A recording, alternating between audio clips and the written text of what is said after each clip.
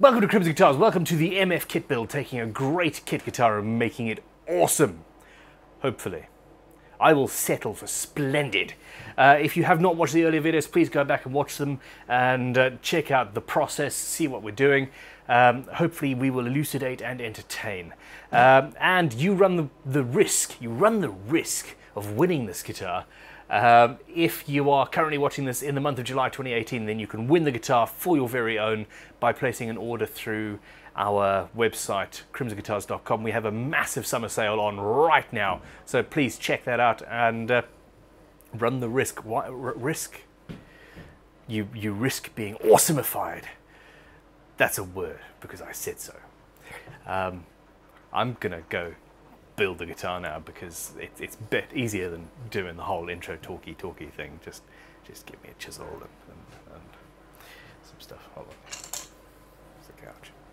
I don't know what I'm going to use a gouge for, but no, just begin. Good gouge. I like this gouge.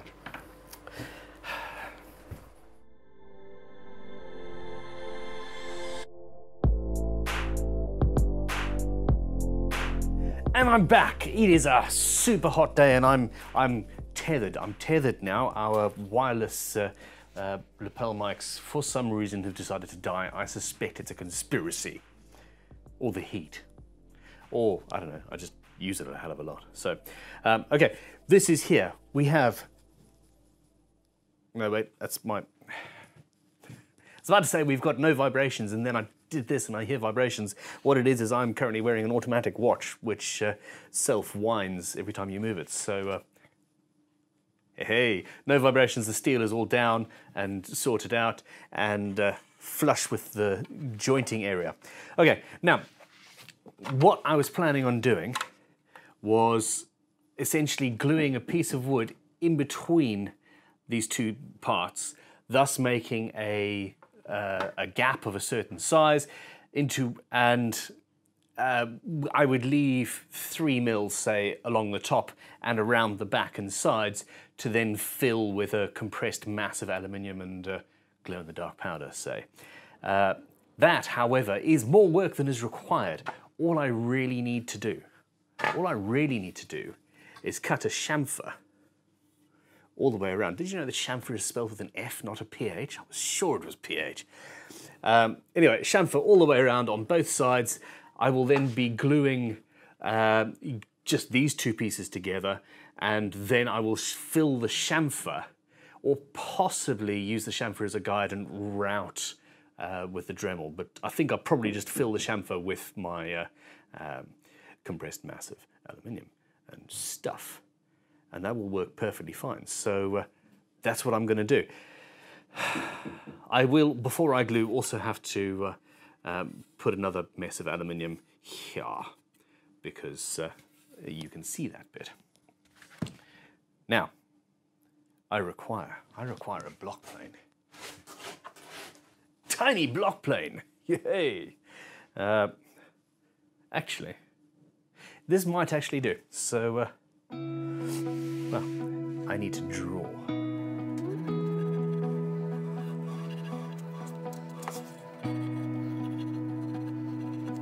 And that's that's an interesting area there.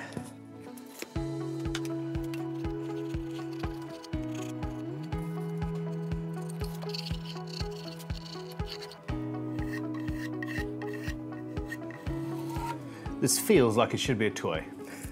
but it really isn't. Uh, it's not perfect for everything I'm doing here. This is the first time in forever that I actually need a bullnose plane or a chisel plane, and I, I don't have one. That's crazy. Okay, um, spoke shaves. Spoke shaves are good. Let's have a, but again, not quite. I'm gonna have to chisel this.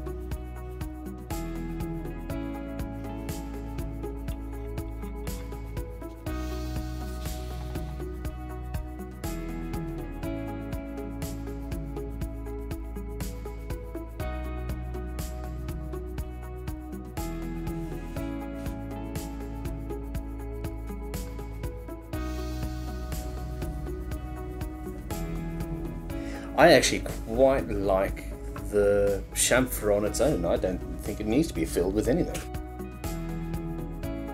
I think that actually rather suits the guitar.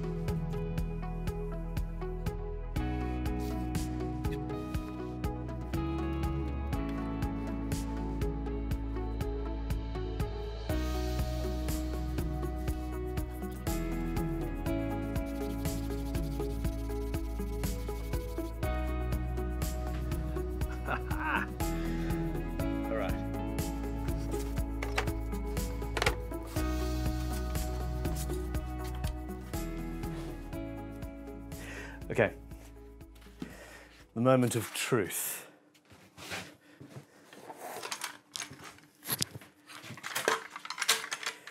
Probably only need two. But let's see. So always do a dry run. 100%. It's like um, uh, important. I, can you tell I was going to go off and say something incredibly inappropriate at that point? But uh, but I decided not to. There we go.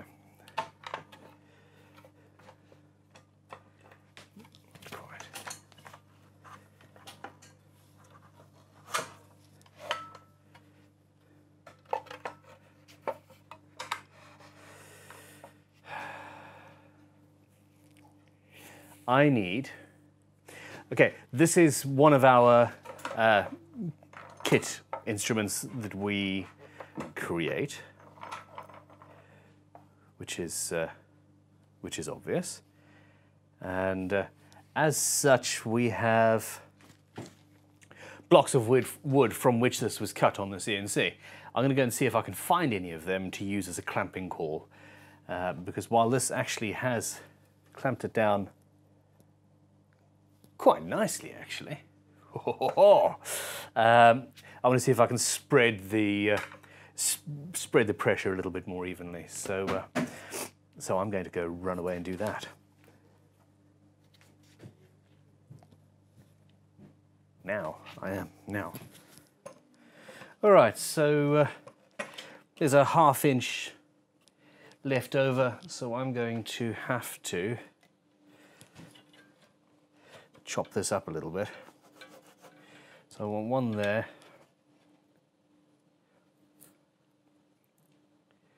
Well, let's see what happens if I just have this section. And then I can possibly even get three sash clamps on. That's a little bit delicate. Yeah. To the bandsaw.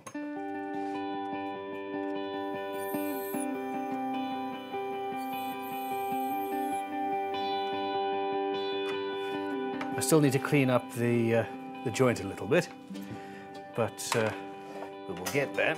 We'll get there in a minute.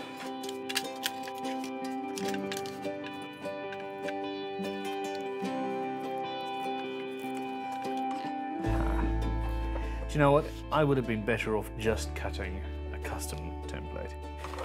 Okay. I'm going to use the other half at the back so when it's under pressure it's not going to dent the other side. Uh, although we are pre-final sanding, so really um, it's not too much of an issue.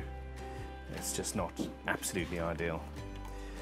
Uh, okay, so I've got some extra, extra bits and pieces on here that just need to be sorted out. Uh, mainly foil and glue. Tiny scraper.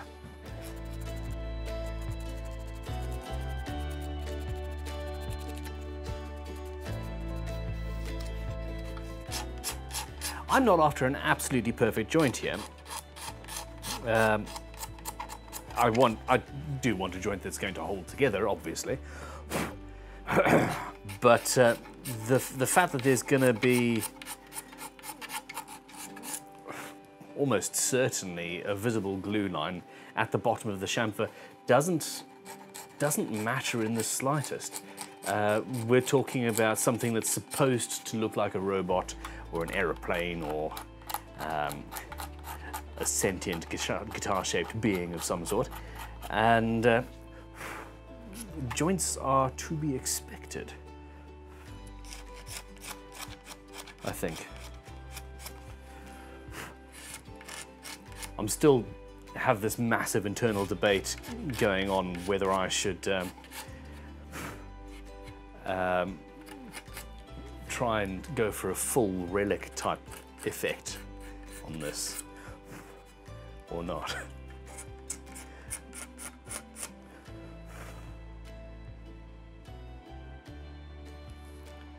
Probably not. We'll see.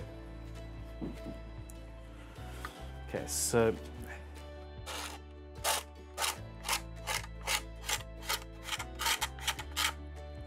I most definitely should have trimmed the,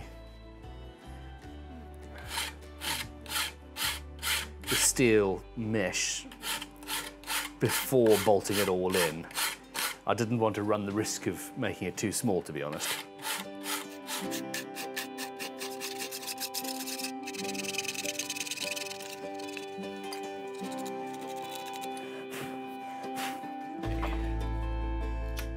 So that's been chopped off a little bit, so we've got clamping up space. And uh, this is actually pretty good.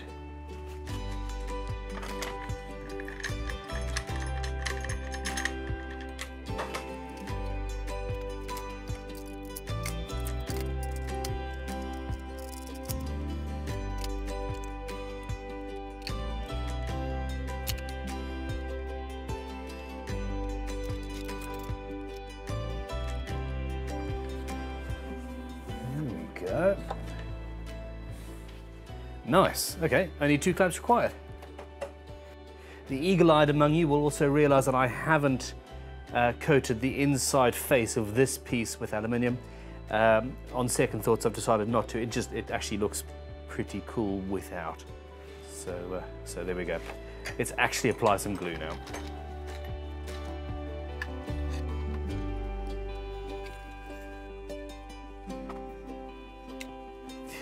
Don't want too much in here. I'm going to have to clean some out of the chamfers, but I won't be able to clean any from the inside of the guitar. And uh, it's not likely to be intensely visible, but uh, still. It's also incredibly warm here at the moment, so uh, this is going off rather rapidly.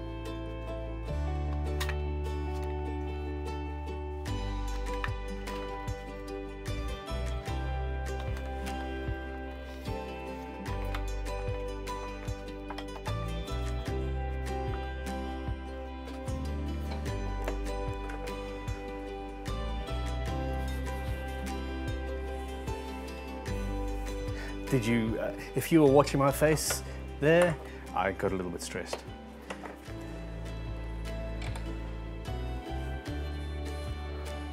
I think we're okay.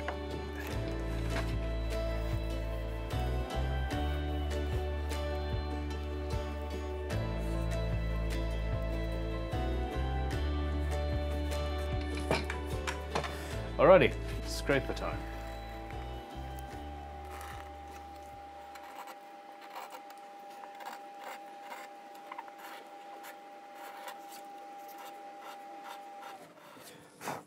Scrapers are some of the most intensely useful tools you can possibly have.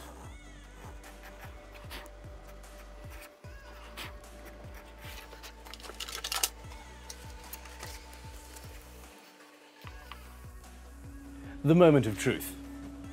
This has been curing for some time now.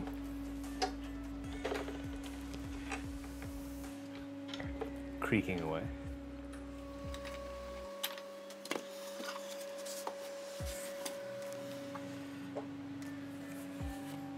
She's back together.